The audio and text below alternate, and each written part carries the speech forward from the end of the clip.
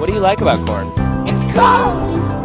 A big, corn get knobs. It has the juice.